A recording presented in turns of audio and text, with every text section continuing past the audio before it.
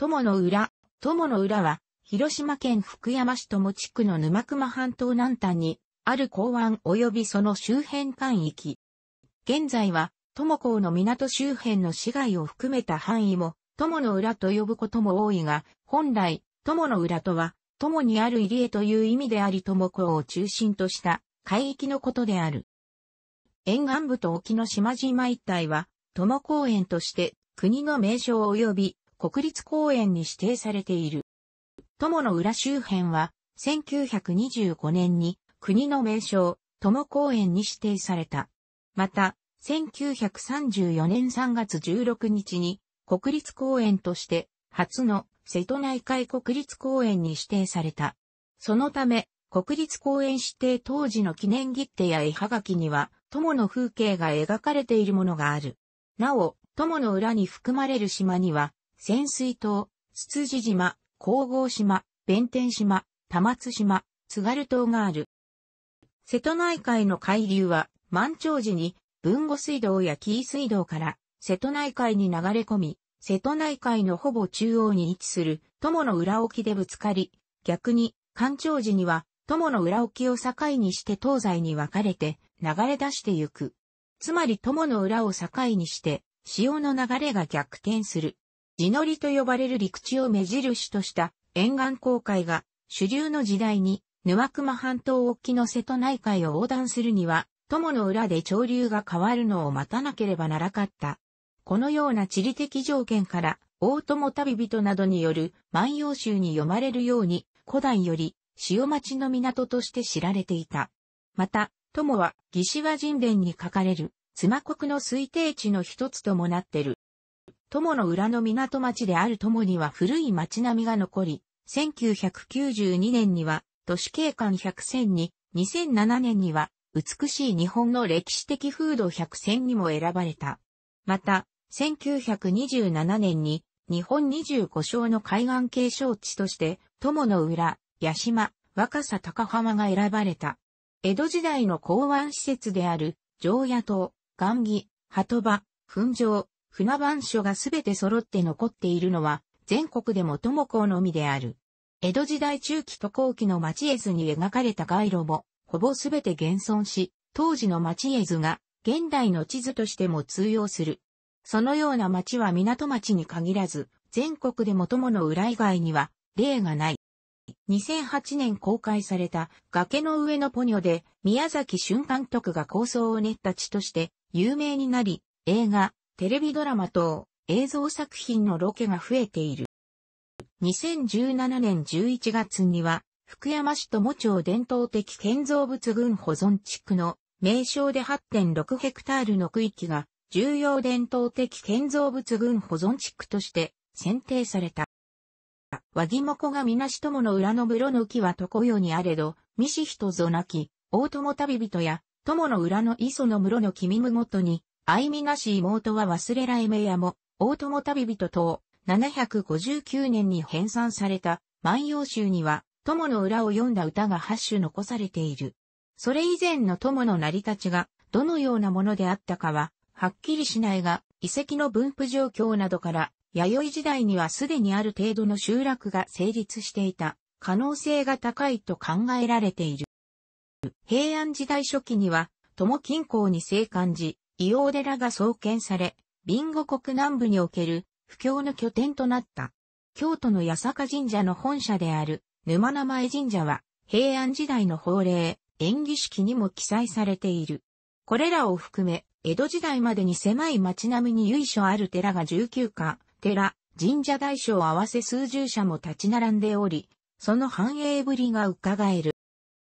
一帯は渡辺氏の支配下にあった。1336年、建武3年には、タタラ浜の戦いに勝利した足利高氏が京に登る途中この地で、黄金天皇より新田義貞追悼の院前を賜る。南北朝時代には、友の裏沖から友にかけての地域で北朝と南朝との合わせ、友合戦が幾度もあり、聖漢寺五十島などの貴重な文化財が失われた。戦国時代には、毛利氏によって友中心部に、友用街、現在の友城が築かれるなど、備後国の拠点の一つとなっていた。室町幕府15代将軍、足利義明は1573年に織田信長により刑を追放された後、毛利氏などの支援のもと渡辺氏の援助で1576年に共に拠点を移し信長打倒の機会を伺った。伊勢氏や上野氏、大館氏など幕府を構成していた名家の指定も、義明を頼りともに下校していたとされる。このことから、友幕府と呼ばれることもある。また、前述のように、足利尊氏が室町幕府成立のきっかけになる印前を受け取った場所でもあるため、幕末の歴史家、第三葉は、足利、室町幕府は、友起こり友で滅びたと例えた。天越滅亡に際しては、播磨国公月城より移送途中に中殺された山中鹿之助の死球が友に届けられ足利、義明や毛利輝元により実験が行われた。この意向として、首塚が現在も残されている。江戸時代になると、備後国を領有した福島正則によって、友用街を中心に市街地を取り囲む大規模な城郭、友城の築城が始まるが、これが徳川家康の激鱗に触れ工事は中止された。その後、福島市に代わり、徳川家康の重帝、水野勝成が備後福山藩の領主となり、友城跡には奉行所、友奉行所が設置された。この時、勝成の息子で二代藩主である、水野勝利は友に住んでいたため、友殿と呼ばれた。また、朝鮮通信使の寄港地にもたびたび指定され、1711年、聖徳元年の第8回通信使では10時間乗り国彦が宿泊した福前寺から見た友の裏の景色を日東第一継承、朝鮮よりの世界で一番風光明媚な場所の意と称賛したこの文を額にしたものが福前寺隊長楼内に掲げられている。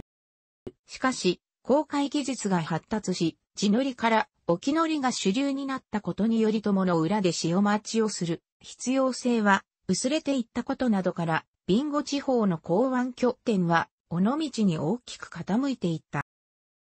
近代になると、友の裏の拠点性はますます低下していき、1913年、大正3年の友系弁鉄道開通により、陸上交通の利便性は向上したものの、半島の先端という孤立した環境や、開発可能な平野部が若いことなどから近代化の波に取り残された。友系弁鉄道、友鉄道の利用も太平洋戦争直後をピークに減少し1954年、昭和29年には採算悪化などから廃止された。この鉄道跡が大宗県道22号線福山、友線である。その一方で、継承地としては、明治時代より天皇、皇后をはじめとする皇族が好んで訪問してきた、潜水島や弁天島を含む東岸の景観が、沼熊半島の西部に隣接する岩大寺観音堂、アブト観音と並ん高い評価を受け、いち早く国立公園に指定された。現在では、友港への商船の出入りはほとんどなく、連絡船、観光船、港内にある造船所、本河原造船への修理船を除けば、ほぼ漁港として用いられるのみである。しかし、こうしたことが開発の波に飲まれることなく、古寺が数多く点在する古い町並みをとどめる要因になった。友の裏で最大の港、友の津とも呼ばれる。円形港湾で近世の港湾施設がよく残されている。港湾法上は1961年に福山港へ編入され、福山港の一地区として扱われる。江戸時代に大きく整備され、この時代の港湾施設である、常夜島、雁木、鳩場、粉城、船番所のすべてが全国で唯一残されている。県営桟橋から総島まで1日号往復の定期連絡船が発着している。友町の東側にある漁港。友の裏の港では最も小規模。方形の港で東側に防波堤が設置されている。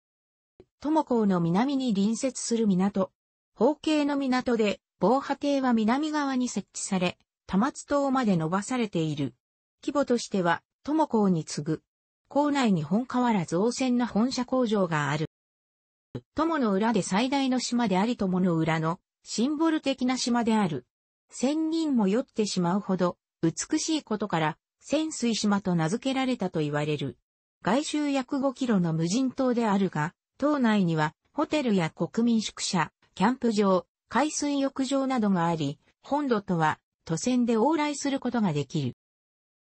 友港の東側に隣接する島。慶長年間の友城追記により埋め立てられ、陸続きとなっている。南北朝時代には大鹿島城が築かれ、合戦も行われた。頂部には円通寺が建てられている。江戸時代には船の出入りを見張る円剣番所が置かれた。また、大加島のふもとには、遊郭が栄え1678年に記された、式道大館には国内を代表する25の遊郭の一つも挙げられていて、遊郭建築の遺構も残っている。潜水島の東に位置する無人島。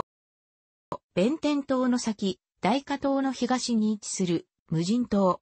神宮皇后が当地へ立ち寄った際に船をつないだことから皇后島と名付けられたと言われる。山頂には、友奉行小木の重富の妻の墓が建てられている。友城と潜水島の間にある無人島。島内に弁天堂が建てられていることから弁天島と呼ばれている。友港の南に位置する無人島。現在は友港を囲む防波堤でつながれ本土と陸続きとなっている。友港の天然の堤防となっていた。かつては福島と呼ばれていたが領主となった福島正則により、津島に改名されたと言われる。また、現在はネズミのような形状からネズミ島と呼ばれることもある。